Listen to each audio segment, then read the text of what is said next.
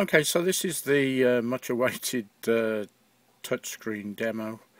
Um, and uh, the colours look pretty washed out with this uh, iPhone that I'm using to record but anyway you uh, you get the idea um, what I've got here is the uh, the colour selection down the side here and if you hold this part of the screen just just to the right of that it will uh, erase the screen.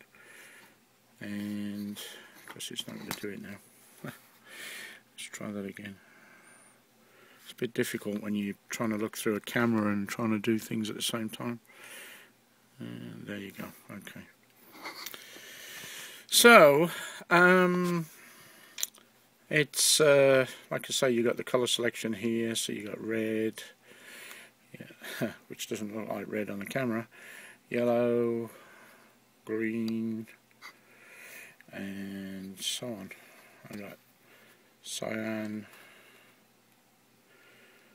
blue, and purple.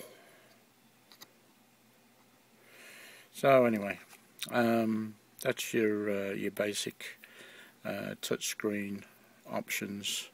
And like I say, if you hold the hold the pointer on the edge of the screen here. It'll uh, erase the screen.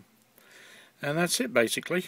Um, I'll post the um, I'll post the sketch and information for the relevant drivers and um, let you uh, let you try it out on yours. Uh, it should it should work fine with the um, with the Uno um, I've not tried it with the Mega. I don't see any reason why it wouldn't work with a Mega. Um, so, uh, yeah. So, uh, anyway, have fun. Bye for now.